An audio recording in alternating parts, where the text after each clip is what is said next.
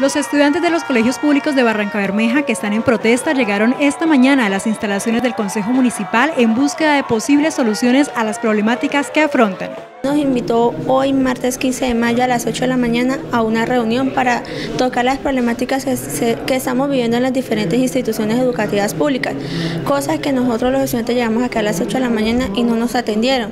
Pues creo que una de las mejores formas, por decirlo así, que, que nos pudieran escuchar fue hacer ese plantón afuera. Los jóvenes protestaron a las afueras de la alcaldía municipal y manifestaron sentirse indignados por negárseles inicialmente la posibilidad de ingresar al Consejo Municipal. Si muchos se dieron cuenta, nos vinieron a atender más o menos una hora y media después. Para mí eso es una falta de respeto, porque si nos hacen una invitación a las 8 de la mañana acá al Consejo Municipal es para que nos atiendan, no para que nos traten como si nosotros fuéramos quién sabe qué, o nos hagan esperar cuando ellos quieran atendernos, no me parece. Los personeros estudiantiles concuerdan en que ya es necesario que pasen del diálogo a los hechos y que les ofrezcan prontas y efectivas soluciones. Eh, en estos momentos nos están, no hemos podido, los personeros no hemos podido tomar la palabra, pero han estado interviniendo los sindicatos y los demás entes y pues por ahí vamos hablando, apenas vamos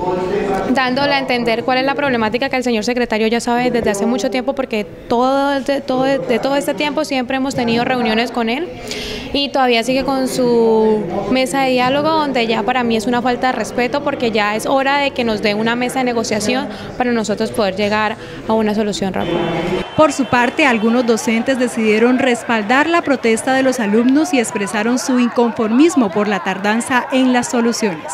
Hoy el Consejo Municipal y concretamente su eh, Secretaría de Infraestructura citó a la mesa negociadora que está conformada por docentes, rectores, padres de familia y estudiantes a una reunión. Vino la comisión y los estudiantes decidieron acompañar a la comisión y el Consejo Municipal no se presentó. En estos momentos el secretario está sentado con la mesa negociadora y esperamos que haya oídos para las necesidades que la comunidad educativa y concretamente los estudiantes están expresando.